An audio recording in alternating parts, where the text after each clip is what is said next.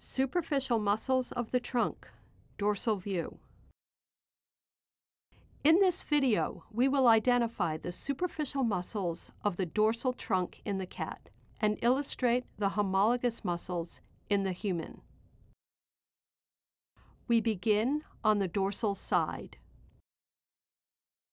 The two large muscles that cover the dorsal surface of the cat are the trapezius and latissimus dorsi muscles. The trapezius muscle originates from the mid-dorsal line, specifically from the nuchal crest of the occipital bone and the spinous processes of the cervical and thoracic vertebrae.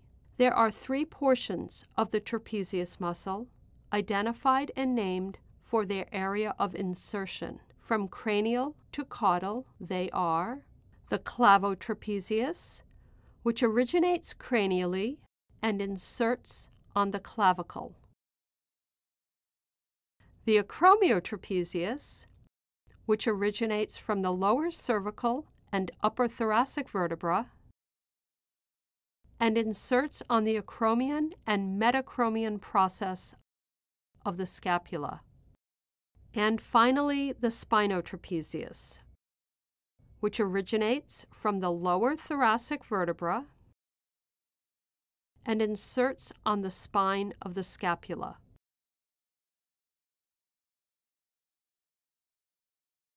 Note that in the cat, the boundaries between the three portions of the trapezius are distinct, and thus these muscles are named as three individual muscles the clavotrapezius, the acromiotrapezius, and the spinotrapezius. The same three regions occur in the human trapezius, but there are no clear boundaries between them. Thus, the muscle is named as a single muscle. Now, let's look at the latissimus dorsi, which is caudal to spinotrapezius. It originates from the thoracolumbar fascia, the aponeurosis covering the lumbar vertebra. This broad, flat muscle covers most of the back and extends cranially to insert on the proximal humerus. Latissimus dorsi has a similar appearance, location, and function in humans as it does in the cat. Now, let's review the deltoids. In a cat, three individual muscles are homologous to the three regions of the deltoid muscle in humans. These three muscles in the cat are identified and named for their area of origin. From cranial to caudal, they are the clavodeltoid, which originates from the clavicle and forms the superficial muscle covering the cranial surface of the arm. The clavodeltoid in the cat inserts on the proximal ulna. The acromiodeltoid, a small triangular muscle just caudal to clavodeltoid, which originates from the acromion of the scapula and inserts on the proximal humerus.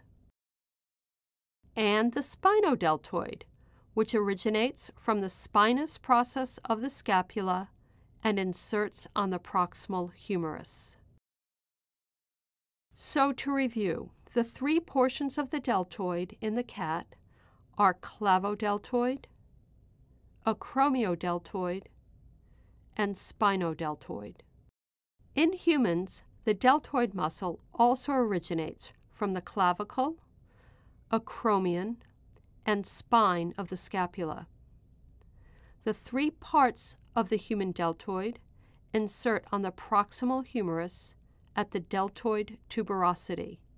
In the cat, be careful not to confuse the three deltoid muscles which cross the shoulder, clavo, acromio, and spinodeltoid, and are named for their area of origin, with the three trapezius muscles, which are located on the back and named for their area of insertion, clavotrapezius, acromiotrapezius, and spinotrapezius. The last superficial muscle to be identified is the levator scapulae ventralis. This thin, strap like muscle is located in the triangular space between the acromiotrapezius and clavotrapezius. Levator scapulae ventralis inserts on the scapular spine and extends cranially deep to clavotrapezius to originate on the base of the skull.